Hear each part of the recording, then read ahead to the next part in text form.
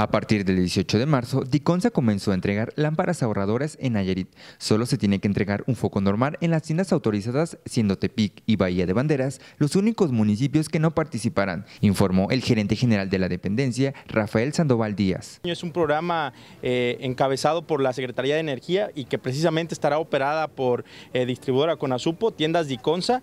Y aquí en, Nayarit estaremos, estaremos participando con más de 350 tiendas Diconsa donde serán más de 126 mil familias Nayarita que podrán acudir tan solo con, con una un foco incandescente a canjear. La entrega de las lámparas incandescentes no tiene ningún costo, solo ocupa que el titular del recibo de la luz acuda a las cintas de canje. Todo, todo, todas las personas, eh, todos los que sean titulares del recibo de, luz, acudir a, su tienda de Iconza y preguntar si vienen el padrón y solamente con su, con su recibo de la luz y una copia de su credencial de lector podrán acudir a nuestras 350 tiendas que desde la semana pasada ya iniciamos con la distribución de estas, de estas lámparas lámparas ahorradoras.